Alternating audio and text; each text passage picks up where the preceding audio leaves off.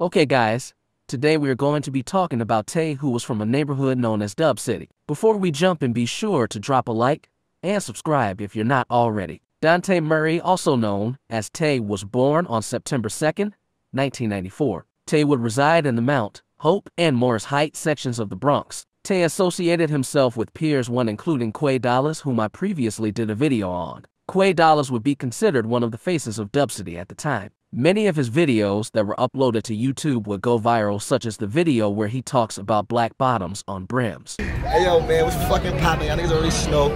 It's Dub City, Dub 2 G's, man. All y'all niggas, man, wearing these fucking black, black bottoms, man, the blue bottoms, man. Cut that shit out, man. out of here, it's man. over, Black man. Niggas, black bottoms. We ain't got a Wrap it great boy man. stand. Gotta have a great boy, man. Great boys over here, man. If you want to know what happened to Quay Dollaz, be sure to watch the previous video or click the link in the bio. Dub City was known to feud with a set known as the 280 Block Crips. The 280s Block Crips, which was allegedly located in the areas of East 167th to East 170th Streets and between Morris and Clay Avenues. One of the members of the 280s was Yappy. You may know him from his freestyle video that went viral a while back. Is that Yappy nigga? Niggas know me, niggas know us, man. We them 280s niggas, man. Or We different color, Crandon, man. or different color Crandon. You already BBs. niggas got me started. BB with the Robins, looking all retarded. CO we we mobbing, that 40 on deck.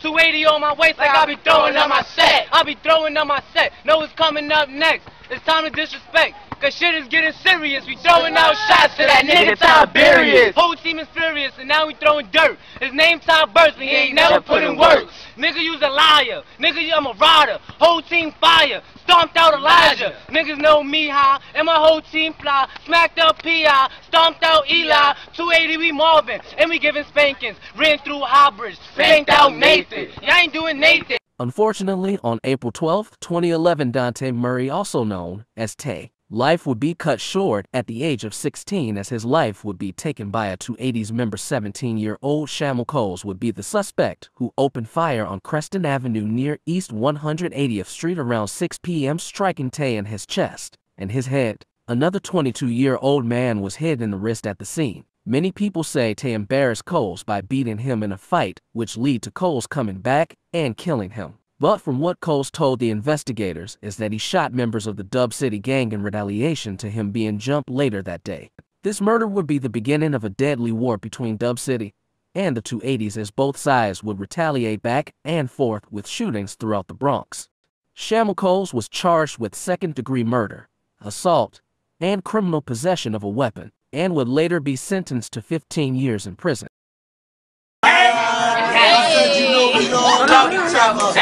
we all love each other. Rap up, up, up, that's my brother from another mother. Hey, Dominique, huh? Hey, Dante. Hey, Dizzy nigga. Hey, oh, Dizzy nigga. Hey, Dante. Dizzy nigga.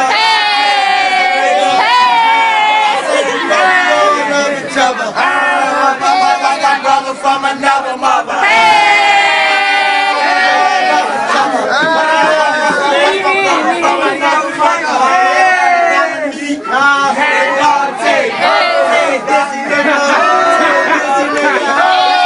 You got a man to the pen on this one.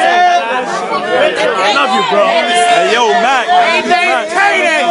Yours ready? Snow. Hey, yo, you're ready, yo. Hey, yo. Hey, yo. Hey, yo. Thanks for watching guys, don't forget to subscribe and drop a like on this video. Also, if I missed anything or got something wrong, let me know in the comments.